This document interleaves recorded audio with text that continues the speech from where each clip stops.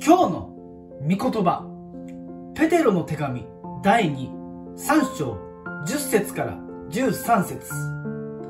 しかし主の日は盗人のようにやってきます。その日天は大きな響きを立てて消え去り天の万象は焼けて崩れ去り地と地にある働きはなくなってしまいます。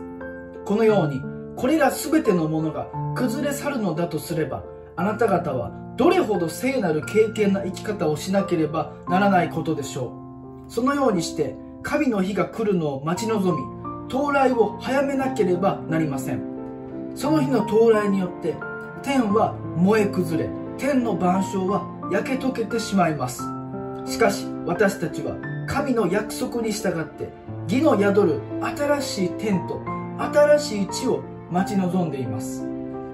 この世界には必ず終わりの日がやってきます。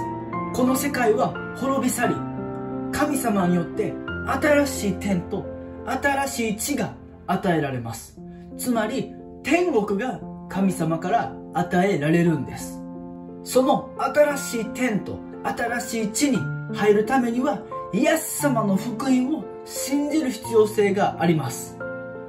主の日終わりの日はいつ来るか分かりません。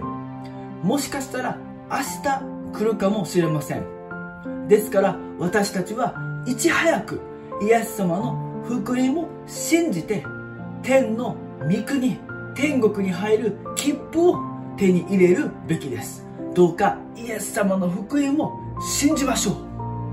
All for Jesus!